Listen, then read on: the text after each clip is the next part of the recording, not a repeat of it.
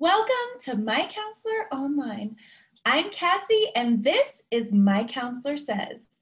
My Counselor Says is where you submit a question, either for yourself or for a friend, and one of our incredible therapists takes their time and answers your personal question. If you want to submit a question, you can do so using our webpage and then look for the answer in an upcoming edition of our weekly e newsletter.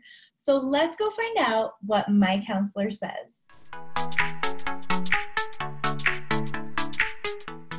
Welcome to My Counselor Online. I'm Josh Spurlock, and this is Asking for a Friend. And we're answering Cody's question. Cody says, My sex drive seems to be much higher than my wife's. It seems to be the core issue between us. I love her dearly, but I seemingly can't go without.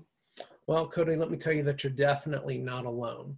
That the differences in sexual desire are one of the leading causes for couples to enter into sex therapy and learning how to navigate those differences in a way that can be mutually fulfilling for both couples.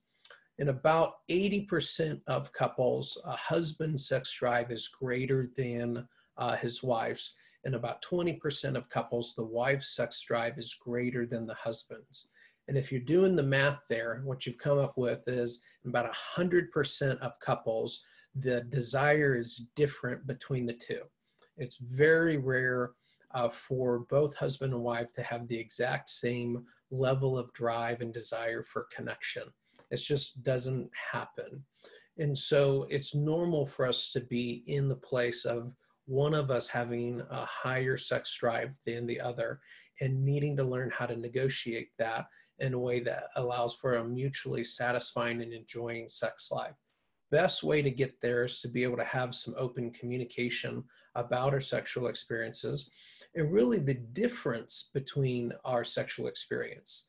That um, the meaning that we give to sex and connection and frequency oftentimes varies between spouses and being able to share our experience with each other in such a way that helps us get into each other's shoes can really help us build a healthy sexual relationship that's mutually fulfilling for the both of us.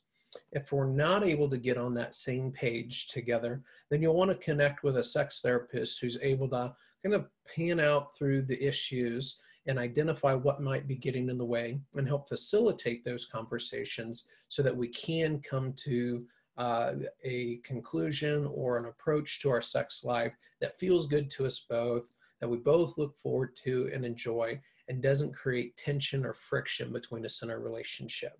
Thanks for the question, Cody. Thank you so much for submitting that question. We love to answer your questions. If you have a question for yourself or a friend, you can submit it using our webpage and then look for the answer in an upcoming edition of our weekly e newsletter.